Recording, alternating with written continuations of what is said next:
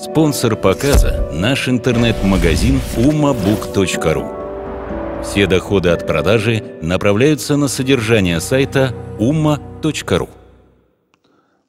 Наша с вами сегодняшняя тема есть ряд хадисов, они один за другим.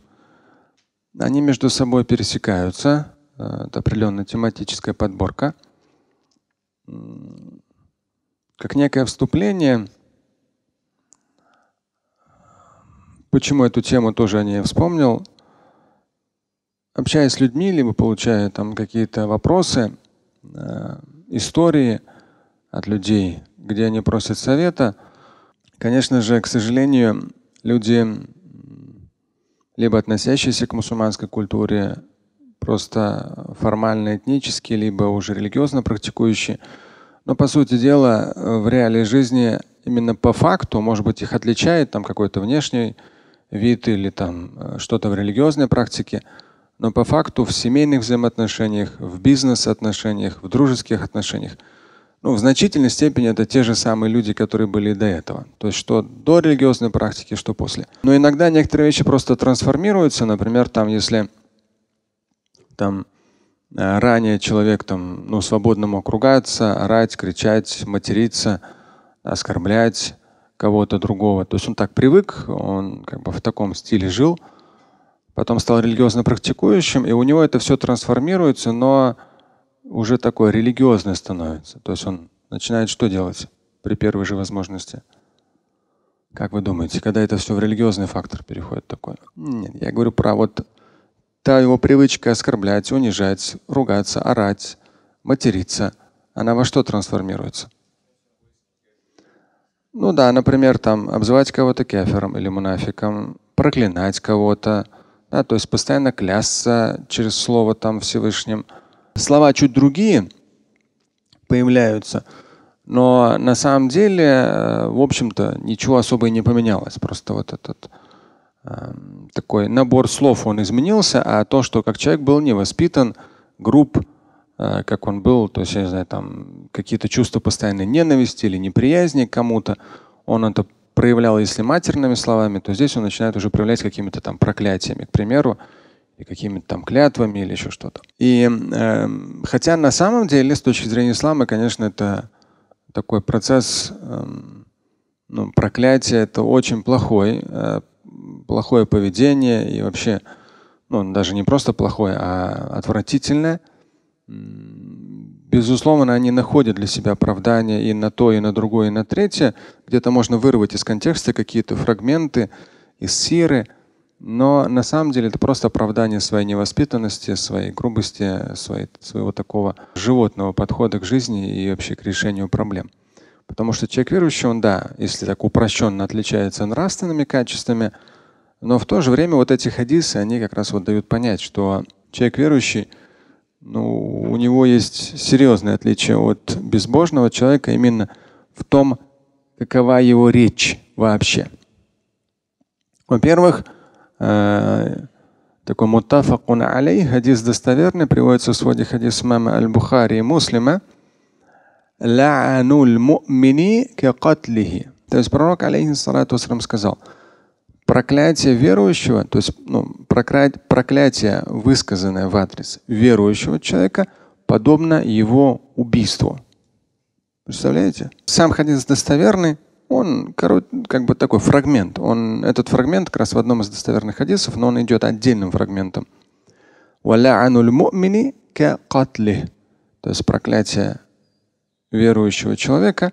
Но опять же здесь по-русски будет проклятие в квадратных, адресованное в адрес, в ад, ну, то есть адресованное в, в, к верующему человеку, да, направленное к верующим. То есть когда человека верующего проклинает кто-то другой, то подобное, как ты его убил. И вот здесь تعظيم اللعن للمسلم وأن الإثم المرتب عليه كالمرتب على قتله.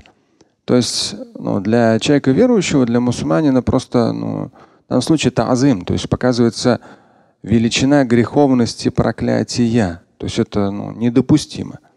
То есть и тот грех, раскрывается дальше, тот грех, который человек получит за то, кто высказал проклятие в адрес другого, вот этот грех, который он получит всего лишь за вот эти слова проклятия, они приравниваются, эти слова, да, вот этот грех приравнивается к тому греху, который человек получает, заслуживает за убийство этого человека.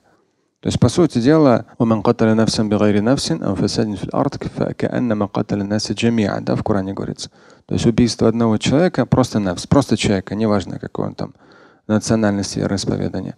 Убийство одного человека приравнивается к убийству всего человечества. Это в Коране сказано. А вот здесь как раз в хадисе сказано, если ты другого человека проклинаешь, то подобно ты, то по греху, подобно как ты его убиваешь.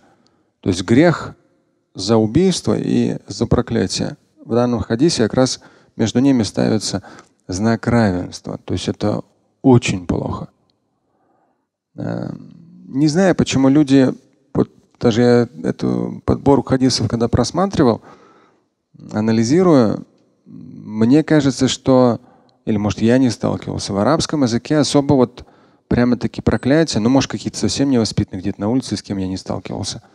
Но мне кажется, все-таки там это ну, не распространено. А вот постсоветское пространство, русскоговорящее пространство, я периодически слышу истории о том, что да, там родители проклинают своих детей. Просто даже где-то в разговоре, где-то периодически, где-то постоянно, то есть в порыве гнева. Очень нездоровая, конечно, ситуация. И таких историй, я не знаю, там за последние там, 22 года как-то много накапливается, думаешь, странно. И причем люди говорят, вот там моя мама, ей уже там 70, да, там или сколько, она там в хачу столько-то раз ездила, намаз читает пять раз в день. Все, но при этом, там, когда у нее плохое настроение, что-то не так сделали, все, начинает проклинать. Пока что получается, что на постсоветском пространстве вот этот вот важный хадис, здесь несколько хадисов, это важный элемент культуры, культуры речи верующего человека, он то есть очень недоразвит, очень слаб. То есть, по сути дела, эти слова нельзя применять. Но это как у нас проблема, что люди там поссорившись в семье, муж сразу начинает там проговаривать талак, да, развод. Это ну как-то странно. Но мне тоже кажется, в арабской и турецкой культуре, культурах этого нет. А у нас на постсоветском пространстве постоянно подходят люди, которые говорят, вот я там в порыве гнева или в опьянении, в состоянии опьянения проговорил развод и так далее, что делать? То есть Думаешь, а при чем тут слова развода? Да когда вы между собой там не можете о чем-то договориться или какой-то гнев проявляется. При чем здесь это? Здесь то же самое. Отношения родителей и дети. Причем тут проклятие? То есть это очень пагубно, это недозволительно. Да, это с точки зрения греха это подобно, как ты убиваешь человека. То есть это громадный грех, и при этом люди очень легко раскидываются проклятиями. Почему? Странно. И при этом эта же мать может сказать своему ребенку, вот когда людей слушаю, она же может упрекать, попрекать, что вот там я там одна тебя там воспитала, еще что-то и так далее, там сложности были, ты мне по жизни должен, еще что-то, еще что-то, еще что-то. Если какой-то, в том числе говоря о том, что вот рай находится под ногами матерей, а часто истории бывают, что вот ты почему там свою жену слушаешь или еще что-то, а вот рай находится под ногами матерей, если что-то ей не нравится, она начинает проклинать. Но это получается какая-то просто стервозная тетя, которая вообще не понимает, что такое ислам и как должна вести себя мать. Да, то есть пример для своих детей, пример для своих внуков. Как она может там постоянно подчеркивать, то есть в, да, в аятах и в хадисах говорится об уважении к родителям. Но это же не говорит о том, что родители вдруг стали там этими богами, которым нужно поклоняться. Если рай под ногами матерей, это же не дает права матери проклинать своего ребенка. Не дает права. Это уже ее конкретное действие, которое с точки зрения греха на уровне убийства своего собственного ребенка. Разве это допустимо? Нет.